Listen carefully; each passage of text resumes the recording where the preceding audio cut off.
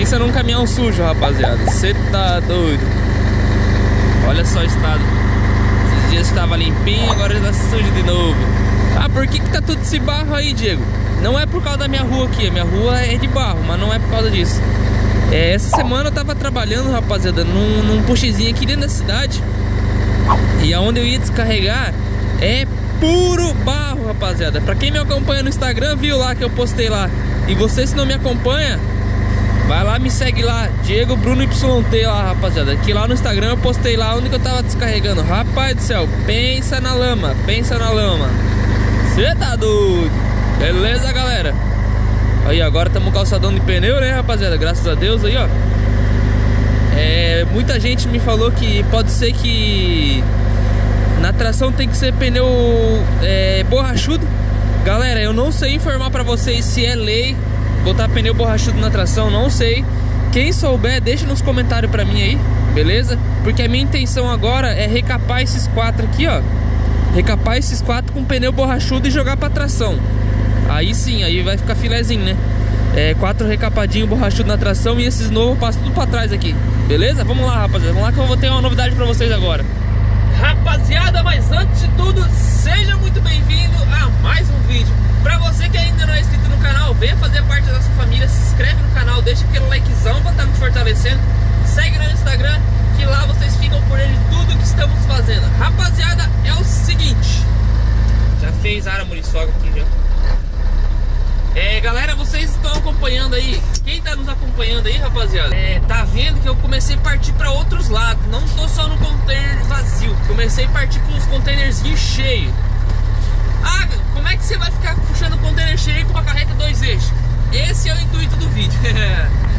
Galera, hoje eu vou trocar de carreta, rapaziada, vou trocar de carreta, em vez de eu ficar com duas carretas de dois eixos, eu vou pegar uma três eixos agora mesmo, rapaziada, tô indo lá pra me conferir ela e talvez já engatar, beleza?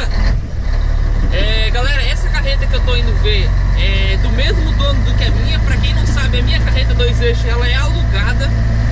Infelizmente eu pago aluguel ainda. Não tenho condição para comprar uma carreta. Então essa três eixos é do mesmo dono. Entrei em contato com ele, falei, ô, é, você não teria uma carreta três eixos para alugar? Então tá, vou aquela história toda e ele, sim, sim, tenho sim. Quer trocar pela dois eixos, só tu vir aqui que a gente troca. E o que acontece, galera? A três eixos é um pouco, o aluguel é um pouco mais caro do que a dois eixos. É, na dois eixos eu pago 700 reais e na três eixos eu vou pagar 900. Beleza? Mas é aquela, né, rapaziada? O, a três eixos faz o mesmo serviço da de dois eixos, só que a dois eixos não faz o serviço da de três eixos. A três eixos eu posso carregar peso, na dois eixos eu não posso carregar muito peso. Positivo? Então, bora que bora, rapaziada. O rapaz já me mandou mensagem, falou que tá me esperando lá, na, lá no pátio, onde deixamos a carreta estacionada. Tô trazendo meu cavalinho pra casa sempre agora, galera. Eu moro aqui pertinho do pátio. Aí tô trazendo ele sempre pra casa aí, beleza? E a carreta ficou no pátio. E a 3 eixos tá no mesmo lugar lá onde eu deixo a minha carreta. Então vamos lá. Vamos lá ver lá, beleza? Aí, gurizada. Já cheguei aqui no pátio. Até a, mula do Paulo tá aí, ó. Carretinha dois eixos. A carretinha dos dois eixos do Paulo é quase igual a minha que eu usava, né? Mas agora, como eu falei, eu vou mudar, vou pegar umas três eixos. Até inclusive o rapaz não chegou com ela aqui ainda. Vou mostrar pra vocês a minha. A minha eu já deixei ali. É... Aqui é um pátio aqui na cidade de Itajaí, rapaziada. E esse pátio aqui foi onde que eu peguei a dois eixos aquela vez. Quando eu engatei. E agora ela tá voltando pra cá também e vou pegar a três eixos. Eu tô aguardando ele vir aí, já falei com ele aqui no celular aqui. Na verdade a três eixos ele tinha deixado na oficina, ele foi lá buscar agora, foi trazer pra cá. Não sei o que ele foi fazer, mas ele levou lá pra arrumar umas coisinhas que tava precisando arrumar. Aí daqui a pouco ele tá voltando aí. E a minha tá aqui, rapaziada. Essa aqui é minha três eixos. Até inclusive eu tenho que trocar aqui o paralama ainda, que estourou um pneu esses dias aí e eu não consegui trocar o paralama ainda. Aí até vou acertar com ele ali depois, aí ele manda trocar lá, beleza? Mas tá aí, ó. Minha três eixinho. Minha três eixinho, minha dois eixinho. Aí eu tenho que lembrar pegar esse negócio aqui, ó. Pra mim poder desengatar ali quando precisar. Isso aqui na verdade é, é pra mim apertar os pinos, entendeu, galera? Vem apertar os pinos do contêiner. Só que como eu tô sem o pino ali da, da, da, do pé da carreta, eu coloquei isso aí. Vai ter que lembrar tirar isso aí. Aí, ó. Show de bola, entendeu, galera? É boa essa carreta, essa carreta é boa, só que pro ramo que eu tô indo agora de carregar peso no três eixos, rapaziada, já não vai estar mais me servindo, entendeu? Aí eu deixei, botei uns pneuzinhos, os pneuzinhos que eu tinha no cavalo, tá tudo aqui na, na, na, atrás aqui, positivo. E é isso aí, agora vamos aguardar ele pra ver qual que é a três eixos. Eu nem vi ela ainda, galera. Então eu tô tô agoniado aí pra ver qual que é a situação da carreta aí. É, e também, galera, já tenho carga marcada para tinha para hoje, eu desmarquei. Aí já marquei para amanhã, sabadão amanhã, vamos estar tá acelerando aí, fazendo umas carguinhas aí no, cheio já, galera. 30 mil quilos, você tá doido? 30 mil quilos, rapaziada. Vamos que vamos, olha só. Olha as duas butucas velhas ali, ó. ai, ai. O do Volvo, o do Volvo fala que meu caminhão é butuca por andar com uma carreta dois eixos. Agora chega, agora, agora não é mais butuca, agora é categoria 6 eixos. Três eixos do cavalo trucado e mais três da carreta. Você tá doido? Beleza, galera? Aí sim, mano. Tô contente, mano. Contente pra caramba, hein?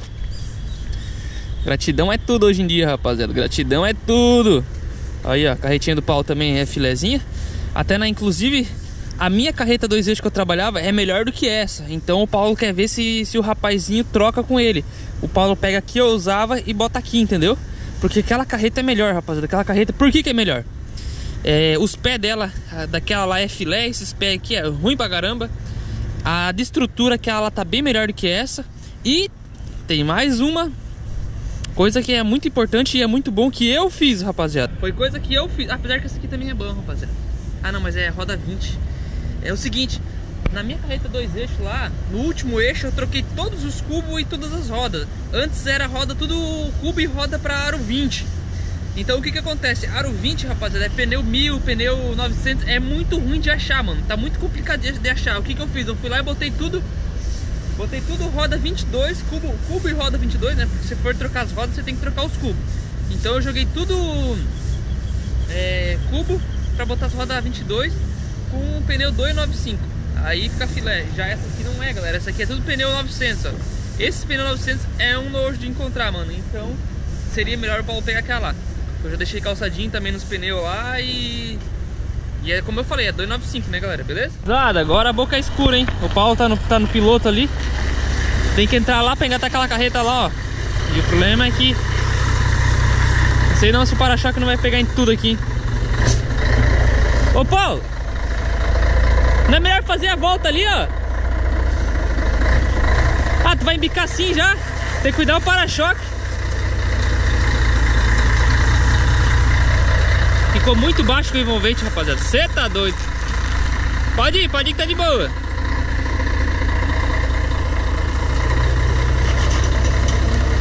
Ô! Amanhã, galera, vou, vou... Opa, vou carregar, vou mostrar pra vocês o porquê que, que o caminhão tá todo sujo assim, ó. O truque é no cantinho aqui, ó. Tem a massa, o negocinho pra puxar ali. Entendeu? Só tem que não segura muito freio, vai ficar sem ar, daí é ruim. Fica sem embreagem. Dá uma embaladinha que vai.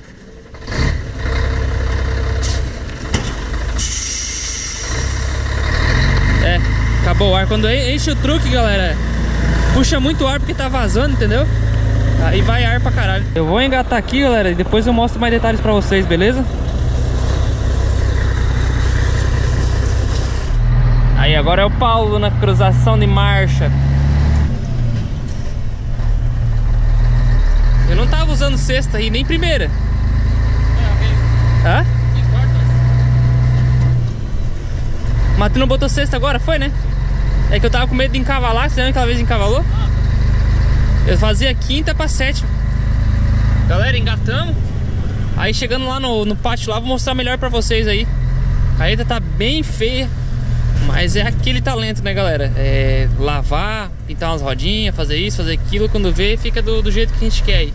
Ah, é alugada? É, galera, a carreta é alugada.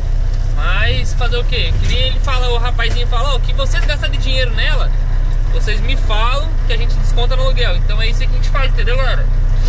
É, que nem, ó, ele já falou, até tem um, umas latas de tinta branca. É, a hora que vocês quiserem, a gente vê pra nós pintar essa carreta. Boa lavada, pinta. Então quando vê já fica no grauzinho. Fica legalzinha, beleza? Mas o que importa, galera, não é andar no grau, rapaziada. A gente quer é pra trabalhar. E, ó, eu tô com bastante carga pra carregar no cheio. E eu precisava de uma carreta 3 eixos. Então tá, graças a Deus tá aí hoje. Beleza? Pode ir de fácil. Ê, diretão, você tá doido? Ó. Quem ronca bonito é ela, hein?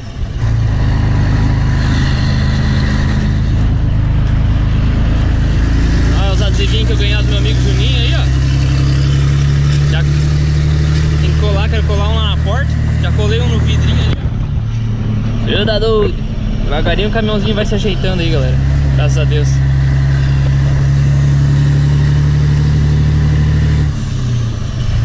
Amanhã, amanhã eu já tenho uma carga do cheio. Aí vou carregar, vou mostrar pra vocês mais ou menos como é que funciona também. É uma carguinha no interno aqui, Itajaí pra Itajaí mesmo. Show de bola. Não gasta pneu, não gasta muito diesel. E dá um trocadinho, um virazinho bom ainda. Beleza? Tenho duas pra amanhã, galera. Tenho duas cargas marcadas pra amanhã nesse mesmo puxa aí, beleza? Chegamos aqui no pátio. Dar uma conferida melhor na carreta aqui agora. Vocês podem ver, a carreta tá feia, suja na, na verdade, né, galera? Bem suja mesmo. Mas ela é. Eu tava olhando, ela é bem filezinha de estrutura. A pneusada tá boa, não tá ruim não, entendeu? E ela tem pino carregar 2 de 20 também. Se um dia eu quiser fazer as puxadas de Imbituba que era 2 de 20, tem os pinos. Beleza? Tem pino pra. Ó, esse aqui também pra carregar um cheio, um de 20 no cheio. Entendeu? A carreta bem completinha.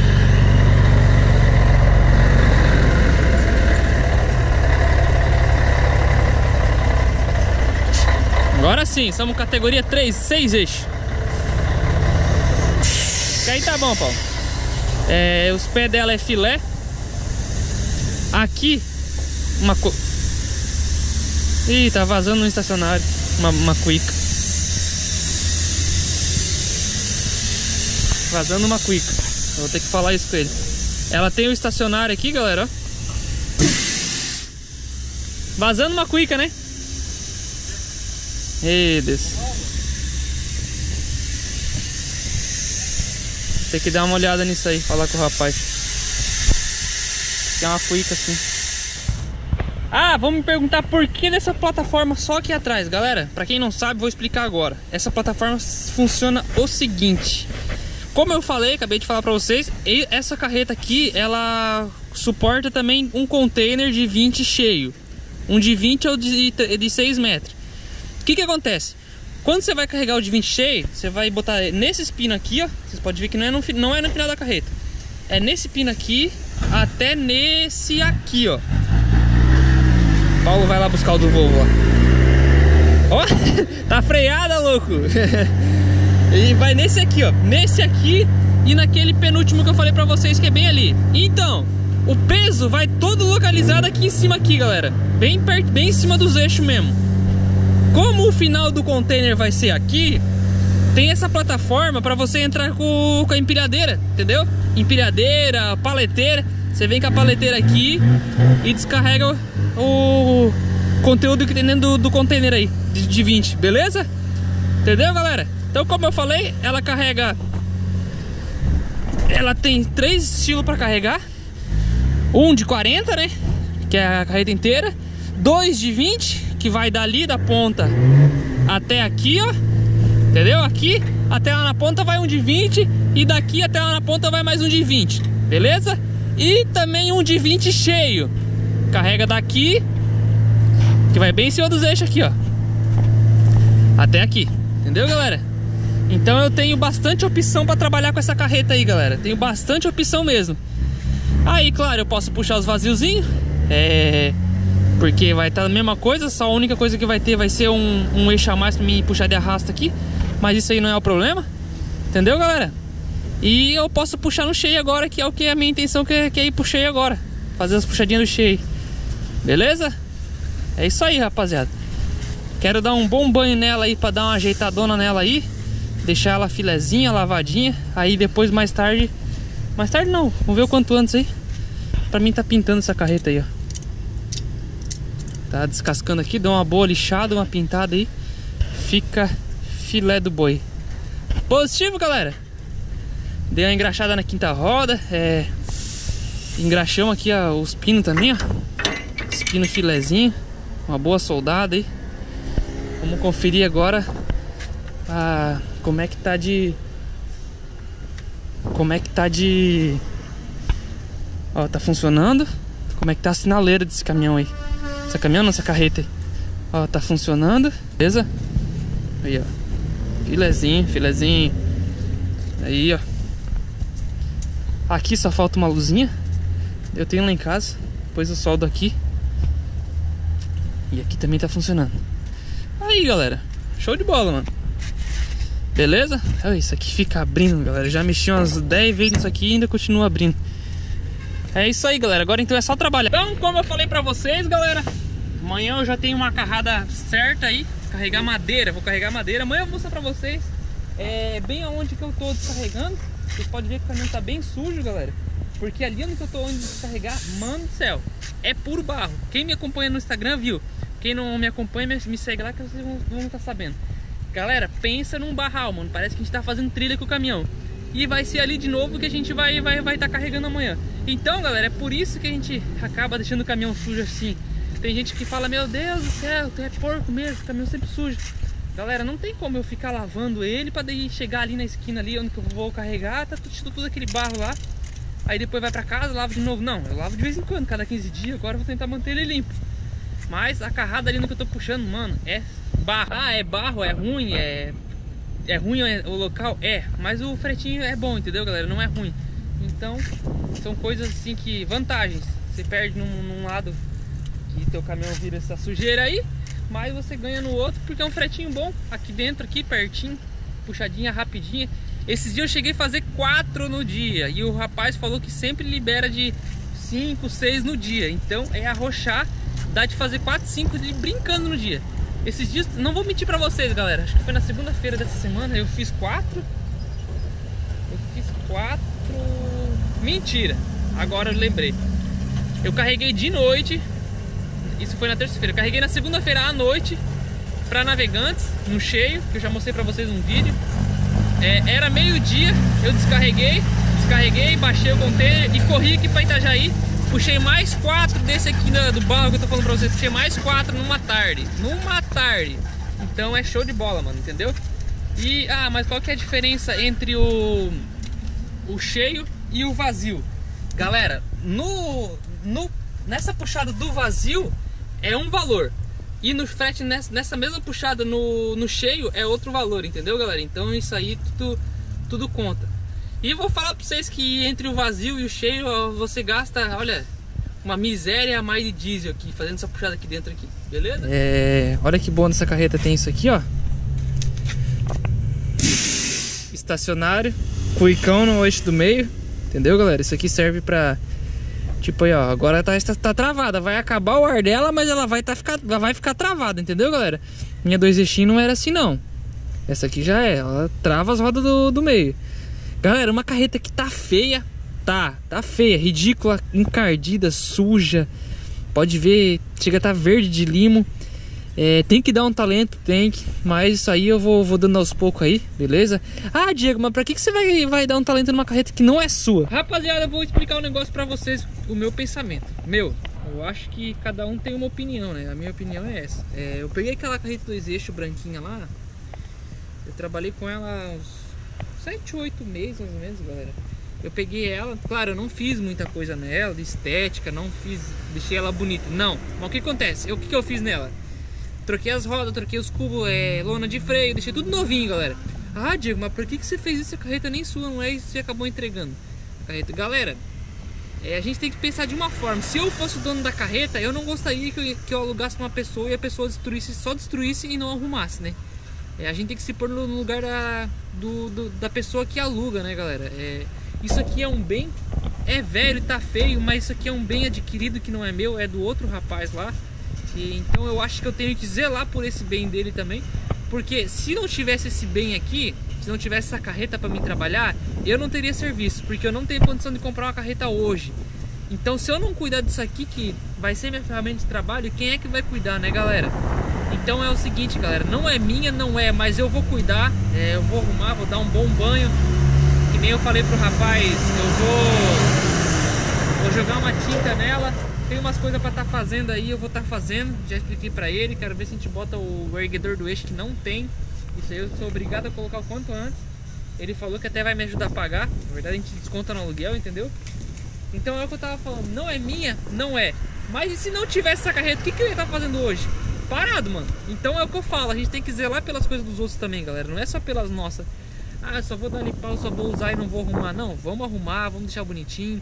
Se acaso tiver que entregar, beleza, vamos entregar, fazer o que, mas a gente usufruiu disso aqui. Porque, querendo ou não, galera, é daqui que vem meu sustento, rapaziada. É aqui do caminhão, é dessa carreta. Então eu tenho que zelar pelo meu caminhão, que é meu, e zelar pela carreta que não é minha. Mas enquanto tá alugada, é minha, entendeu, galera? A partir do momento que você aluga uma coisa, mesma coisa uma casa, rapaziada. A partir do momento que você aluga uma casa, a casa se torna ser tua, até naquele prazo que você alugou no contrato, ou sei lá se não faz contrato, no papo aí. Mas ela passa a ser um bem teu, enquanto tá alugado, entendeu? Então vamos ver lá por ela. Vou dar um bom talento nela. Vamos começar aí pelo um banho na semana que vem. É, pintar essas rodas. Tem uma pneusada que eu tenho que dar uma mexida também. Esse aqui não tá feio, hein? Rapaz, tem um manchão aqui dentro. Esse aqui já, já era. Eu tenho que trocar segunda-feira. Aqui também tem mais um que tá feio. O que acontece, galera? Eu vou tirar foto dos pneus. Vou mandar pro rapaz, ó. Peguei a carreta nesse estado aqui, desses pneus aqui. Quando for devolver, vai ter que devolver no mesmo estado, entendeu, galera? A outra carreta que eu aluguei, eu aluguei ela com pneu também. Mas vai lá ver, vai lá ver como é que tá de pneu. Tá melhor que quando eu peguei, porque agora o que acontece? Tá com tudo calçado 1100 no último eixo. Tá com roda aro 22, cubo foi cubo, rolamento, essas coisas foi tudo revisado, o lano de freio foi nova. Pode ir lá ver, ela tá encostadinha ali. Mas ela tá melhor que quando eu peguei, entendeu galera? Então nessa aqui também, vamos mexendo devagarinho aí. É, graças a Deus essa aqui tá muito boa de freio, então é uma coisa que eu não vou precisar mexer agora. Elétrica tá 100%. Só tá feia, galera, só tá feia. Mas isso aí, um bom de um banho, uma tinta aí já, já vai transformar a carreta aí, beleza? Ela tem os pés, galera, os pés dela aqui é bem filezinho. Não é na alavanca, mas esses pés é bem facinho abaixar. Uma coisa que a outra carreta dois eixos não tinha quando eu peguei era os pés. Meu amigo Giovanni da borracharia PHM aqui de, de, de Itajaí me deu os pés, tá lá na carreta, também deixei pra ele lá. Beleza? Então o rapaz é muito gente boa, então a gente tem que. Um tem que se ajudar o outro. Porque querendo ou não, ele me alugando a carreta, ele tá me ajudando. E assim vice-versa, né, galera? Vamos cuidar do bem que é dele. Beleza? Tá aí, ó. Carretinha feia, mas é dessa feiura que vai vir meu sustento. E vai abrir mais portas para mim aí daqui para frente, entendeu? Eu acho que já vai ser até no próximo vídeo. Eu já vou vou carregar ela ainda amanhã, galera. Amanhã vai ser minha primeira carrada do, do cheio com essa carreta. Não, vou, não vai dar tempo nem de lavar, porque hoje já é final da tarde. Eu só trouxe ela pra cá, desengatar, vou desengatar ela aqui agora. E não vai dar nem tempo de mexer nela. Porque amanhã vamos trabalhar. Amanhã eu tenho duas carradinhas aí pra carregar no cheio aí. Beleza, galera? Beleza pura? Vamos que vamos então. Eu vou desengatar aqui. Vou levar o cavalo pra casa, porque eu tenho umas coisinhas pra fazer no cavalo ainda hoje.